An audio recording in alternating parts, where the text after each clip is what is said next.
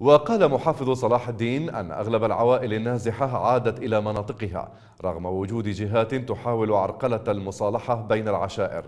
معلنا البدء بتنفيذ العديد من المشاريع المهمة في القطاعات الأمنية والخدمية والصحية من خلال الموازنة التشغيلية مثنيا على دور أعضاء مجلس النواب الممثلين لمحافظة صلاح الدين في الحصول على استحقاقها. يثرب وعزيز بلد كلها راجعة. ما عدا أكو عشيرة القراغول عندهم مشكلة وفي انتظار الجلسة بالكامل حسم الموضوع. آه، يعني بالكامل. سيد غريب أيضا صار صلح وتم الاتفاق والآن إحنا بصدد إرجاع الخدمات حتى الناس يرجعون صار اتفاق آه، نهائي.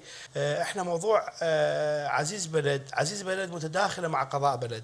فكان ضمن الاتفاق الأول للمصالحة اللي كان يرعاه أبو أبو مازن النائب أبو مازن كان إنه بالوقت الحاضر ماكو أي ترويج لناحيه عزيز بلد. فهذا كان من ضمن الاتفاق. الآن بعد أن رجعوا الناس هنالك جهات تحرك هذا الملف. الغاية منها هو عرقلة المصالحة واستمرار عملية المصالحة بشكلها الصحيح. إحنا عندنا تشغيلية 30 مليار. أصرفنا جزء منها على مشروع الكاميرات والسونارات للمحافظة اللي هو مشروع آمني ومقرر من مجلس المحافظة.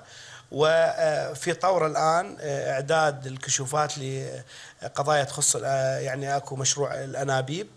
المياه اللي نحتاجها ومشروع آخر هو تجهيز آليات للمحافظة ومشروع آخر هو تجهيز المواد الكهربائية وأكو مشروع تبليط بالمناطق اللي سامرة والضلوعية والشرقاط وأكو مشروع آخر وهو ترميم بنايات الدوائر المدمرة، كل هذه هذه هي مشاريع بالنسبة فيما يخص التشغيلية.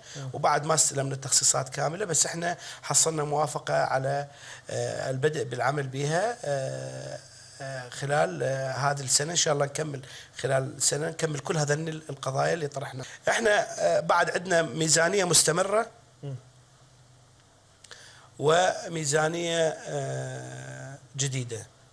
الميزانية المستمرة صادقناها وطلبنا وزارة التخطيط أطلقتنا 68 مليار.